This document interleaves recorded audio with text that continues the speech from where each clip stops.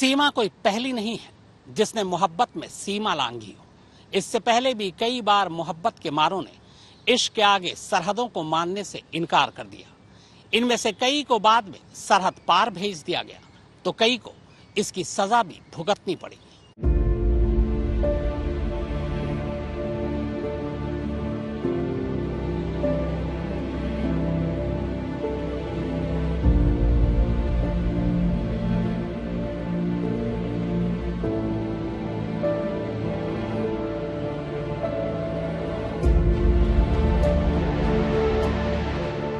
पाकिस्तान की इकरा और भारत के मुलायम की कहानी भी सीमा और सचिन से मिलती जुलती है। बात 2019 की है। जब ऑनलाइन गेम खेलते खेलते पाकिस्तान की लड़की इकरा को भारत के नौजवान मुलायम से प्यार हो गया। इकरा पाकिस्तान के हैदराबाद में रहती थी, जबकि उत्तर प्रदेश का रहने वाला मुलायम सिंह यादव बेंगलुरु के होसूर सरजापुर रोड पर एक कंपनी में सिक्योरिटी गार्ड था। दोनों को लूडो का बड़ा शौक था। दोनों ऑनलाइन लूडो के खेल खेल में कब एक दूसरे से प्यार करने लगे, उन्हें पता ही नहीं चला। इसके बाद पाकिस्तान के हैदराबाद में ट्यूशन पढ़ाने वाली इकरा ने भारत आने और अपने प्यार को पाने का फैसला किया। 2022 में दोनों अपने अपने घरों से निकले और उन्होंने नेपाल में शादी रचा। ली लेकिन इस कहानी में तब ट्विस्ट आ गया, जब जनवरी 2023 में दोनों के लव अफेयर के बीच कानून की दीवार आ गई। बेंगलुरु पुलिस को पाकिस्तान में कुछ व्हाट्सएप कॉल के बारे में जानकारी मिली। दरअसल भारत आने और मुलायम के साथ अपना घर बसा लेने के बाद भी इकरा कभी कभार पाकिस्तान में अपनी अम्मी अब्बू से बात किया करती थी।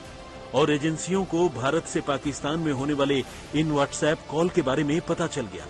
इसके बाद 23 जनवरी 2023 को बेंगलुरु पुलिस ने इकरा को गलत तरीके से भारत में छुपकर रहने के जुर्म में गिरफ़्तार कर लिया। इसके साथ ही मुलायम पर भी एक पाकिस्तानी नागरिक को गलत तरीके से यहाँ शरण देने के जुर्म में कानूनी कार्रवाई हुई। और तब इकरा को घर वापसी के लिए पाकिस्तानी इमिग्रेशन अधिकारियों के हवाले कर दिया गया। पाकिस्तान डिपोर्ट किए जाने से पहले इकरा बेंगलुरु के विमेन होम में करीब एक महीने रही। इस दौरान वो लगातार अपने पति मुलायम के साथ रहने की मांग दोहराती रही और खुद को पाकिस्तान न भेजने की अपील भी करती रही। और तो और इकरा को अपनी बहू मान चुके मुलायम के घर वालों ने भी उसे पाकिस्तान न भेजने की अपील की। लेकिन कानून ने वही किया, जो उसे करना था।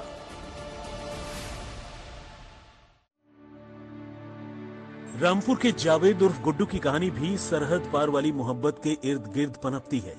लेकिन जावेद की मोहब्बत एक रोज अचानक उसकी पूरी की पूरी ज़िंदगी पलट कर रख देती है और उसे जासूसी के इल्ज़ाम में गिरफ़्तार कर लिया जाता है।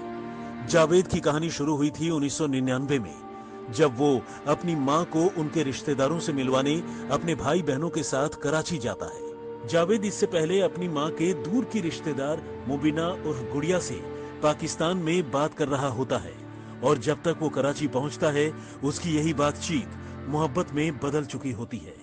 कराची में मुबीना से मिलकर वो हिंदुस्तान लौट आता है। लेकिन यहाँ से फिर वो पाकिस्तान में मुबीना को लव लेटर्स भेजा करता है।